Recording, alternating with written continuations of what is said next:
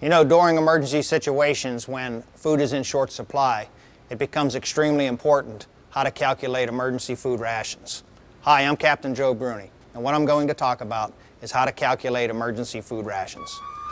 During emergency situations and during emergencies when food is in short supply, it's advisable that you calculate at least 2,000 calories a day for each individual when it comes to the emergency food rationing.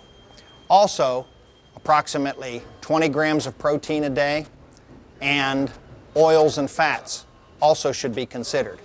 Keeping in mind that the amount of protein required for smaller children would be less than that of an adult.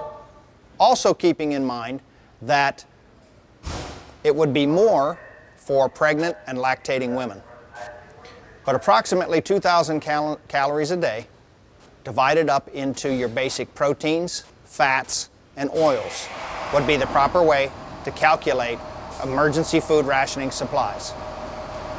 I'm Captain Joe Bruni. Stay safe.